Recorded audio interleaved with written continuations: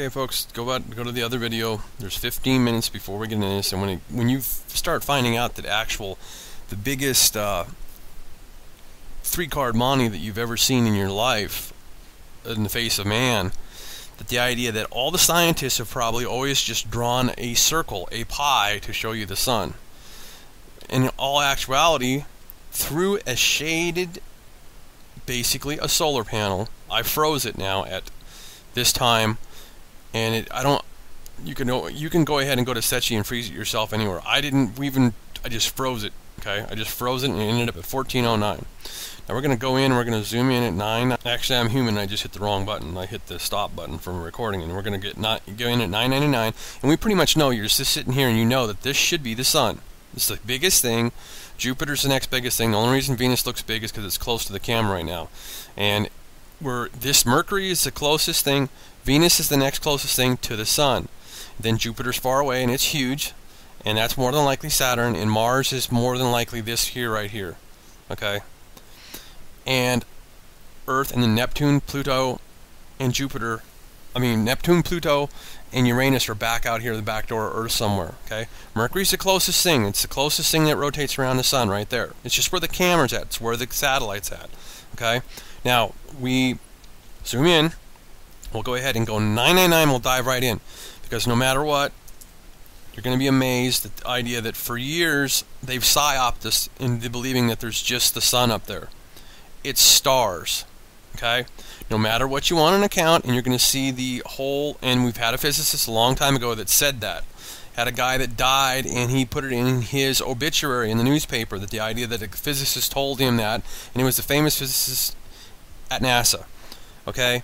Now, you've got this is Mer the line of Mercury pretty much. This is another something that they've got to explain to us, and also uh, basically because there's a magnetical there. We know about the Van Allen belts and the magnetical properties. Now, as you're seeing all of a sudden already, you can almost just but you're going to be amazed at your eyes, and you see separation here. Basically, it's shadows, and we've showed and proved it to you before that even a star now, as we've seen this shot from Mars that I've showed you in a video, we always knew that planets were the same size as their shadow in space because it's in a vacuum. Well, we've learned that stars are pretty much the same size as their shadow in space. Now remember, uh, the sun or suns, no matter what, and you can do the counting here, you've got this dark area here and this dark area here. Now, someone could you could disprove that saying that's part some part of the solar panel that does that cutting or something like that. Pretty much no. You can this brightness of the sun and even of the uh, Mars's tail here that it pretty much bleeds through. Okay. Now we're going to zoom in some more because we're going to take the magnifier out. Now when I go to magnifier, it's the pointer won't work at all, so you're going to end up seeing separation. Now you can count two for damn sure here, but you also have such brightness over here. Is it just the sun? Is it just the shadow of two suns, stars? Well, you're going to be wondering and scratching your head how many actual stars that maybe even the guy that was the physicist that died that said three might even have been wrong on that. Okay? Because we're going to keep zooming in here. Now, if I zoom in all the way up, I'm just going to pump it all the way up. It goes up to 1600. Okay? So now I'm at full zoom. Now, what I can do is get rid of this magnifier. I'll go over and I'll dump the magnifier down. Now we're just going to be looking at the solar panel. Okay? We're just at the solar panel. And I'll work my way over and you'll get a good that more than likely even if they could even lie to us and say that there's one sun then the sun is right there and I think my pointer will work pretty good but it doesn't matter the brightest spot that you see right now is the sun and that's pretty much what they shoot at all the time okay because they do give us figures and we're going to be able to start realizing whether uh, the spots are correct also. Now remember, this is going through a solar panel. So no matter what, that could be just the sun there, and that's what they always look at. Now, the, the, massive distances in space, is that a distance between the sun right there? Because that's, no matter what, that's the sun. Okay? Because even if we have more than one sun, what they're always looking at is there's another sun pretty close to the sun, or even if it's not, if this is Aloraf or whatever the hell this is, at a distance, there's another sun right there. And is it four stars? Is that what it makes? Is that what it takes to give us sunlight here on Earth? And remember, it's always light curvature. So we're looking at light curvature right here. Okay? And I know pixels and also uh,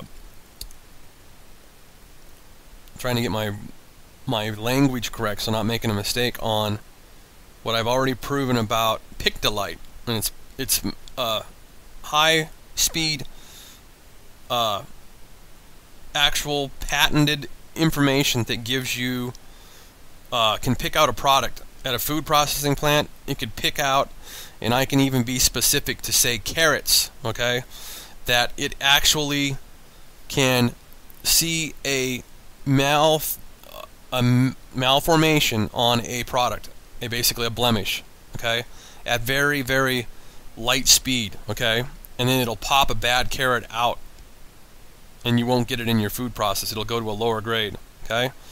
So as we're looking at this pixels in Pictolite basically there's the sun okay?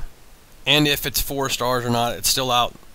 But no matter what NASA's really going to have to start proving to us that when we're looking at the sun they've always got the discs that they put over top of it to make sure that they can look at the sun. When we're looking at the sun through a through through a satellite solar panel. And then we see a shadow there of something okay? So we're going to go circular all the way around this. Now this is to be another star more than likely okay? Now th that physicist said there was three. Now he's either right or wrong one deal he's either completely right and he's dead so you're not going to know. So that's one of the three right there if the pointer's working correctly or not. And you can see the biggest and brightest. I mean you can see dark black here okay? Then as we move into the figure, and we're at 1600, and you can see the pixels, is there's a star, or stars. Now, is that the three stars right there, and that is the sun? So no matter what, when they pull this disk crap on us all the time, and then basically I will take you to the magnetical map, no matter what, NASA needs to give us a skeletal of this perfect round sun that we're supposed to have. And not this everything, all the artwork they always do. Because we're looking through a solar panel and we're seeing what we're seeing. So then we still believe you somewhat, just barely little, that the idea then this is a round sun right there. And this is the only thing you're always shooting at. But no matter what, right by the sun and doing a lot of energy flashing between each other is all this stuff. And at least two for damn sure. Okay, and as we follow it out, we still got light, and it sure seems to be something there with the mass distances that we got.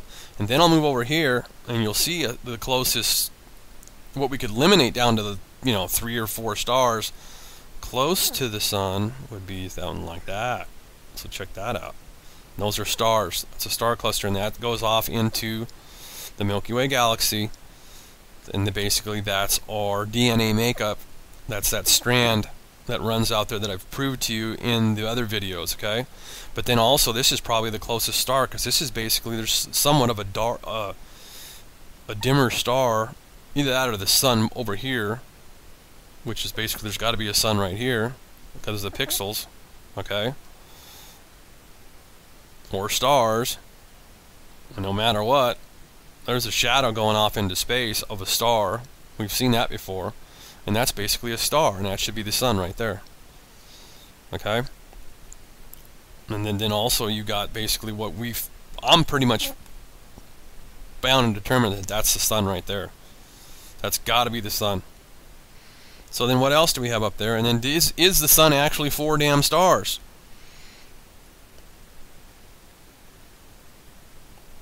So anyway, somebody's been able to look at the sun with shades on and good enough and safe enough to be able to separate. So no matter what, now we got to find separation somewhere.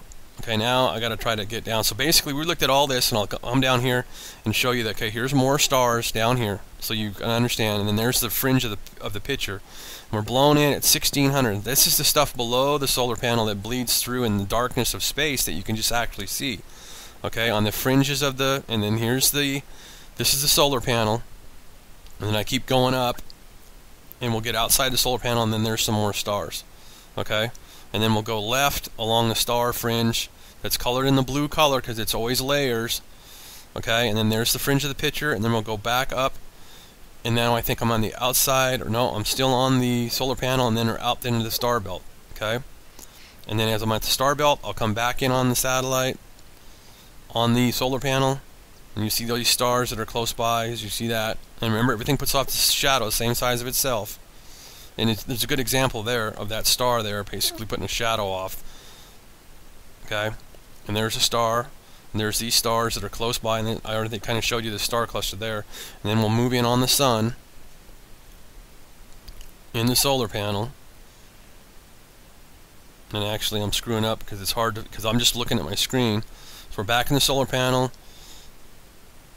back out to outside, outside the, or actually, this should be the stars outside the solar panel a little bit or on in the solar panel. And go back to that stars below. And I guess basically I'm gonna have to get the tool and see if we can get out of here. So we're in the sun again okay? This is the sun area and I can pretty much pick the sun out again without going away and minusing down and that's pretty much the sun right there. That's what they pretty much must be showing us all the time. That's the sun. As I go down here and it dissipates okay? Now I got a properties window or something to the left that I pulled up. I don't care about that but you can still see the sun right there. And then whatever the hell stars here are close or it is still the sun. And then we're going to zoom out and get separation here so now I'm just going to keep the tape running and see if I can get down and get this going with there I'll get this get the minus window up so you know that I haven't been hiding anything from you. I should be able to click over there and get out. Mm-hmm. Well, I'm not going to be able to. So what I'm going to do is I'm going to stop. I'll go over and stop the recording. And I'll try to get us back out of here. So pretty much, we're, we've been getting Shine-OLED for many a year. So pretty much we've been getting scammed for many a year because no matter what, that's the sun or like I was joking around in the other part of the video that we're in deep shit. So I'll make sure I'm out of there. I can just basically get rid of my magnifier. I'll zoom down. We'll just go to 150 real fast, just bam. And I can even hit while we're recording here so you realize I'm not playing no games with you. That we'll go ahead and hit up uh, 77. So I'll just go 400 real fast. See how you can zoom in? And then I magnified in after I got zoomed in all the way on my screen. It's just software. Basically, we've been getting scammed for who knows how many millions a year, or basically the the, the, the time of why did modern day NASA lie to us? And otherwise, what the hell is there, people? Because basically, I'm spewing, but I'm spewing the truth. Okay. Now I'm going to hit play, and you'll understand that this is coming off a movie. And I'll go play, move up, You'll see that it's going kind of fast for through the hours of the day, and then we'll just slow it down a little bit. We'll get this in a little bit slower and give you a little bit of feed on this at a little bit lower speed, a couple hours at a time. So let's go up and see what it looks like when it's going slower speed. And let's pump into that at 900. We'll custom in at 999 real fast. 999 and I just do all this which mo normally most people would do a, a video and edit out and everything like that. Well, I'm just basically zooming in and showing you. So there you go, folks. There's a chain reaction, fusion reaction on the sun. Okay? There's a chain fuse reaction on the sun. Even if there's just a cannonball up there and they've never been lying to us about this circle of the sun, and they always got to put a lens over it so because it's so damn bright you can't look at it. Okay, we've got a solar panel over top of it and we're seeing it. Okay? And it pretty much damn well looks like three suns like he said. In the one to the right and I can keep pointing. Well, I'm at 99, the 999, the biggest I can get. It looks like the one to the right of the uh, fusion reaction that the sun does, because this is pretty much the chain that it's the umbilical cord that it's tied to. Pretty much the one out here, the farthest away, is the deader one. Okay, and the the most lively one's the one in the middle. And that's probably the sun that they're always trying to give us a show at and showing us these hot spots and everything like that. Well, there's magnetical and stuff, and we're getting heat from these other two. Okay?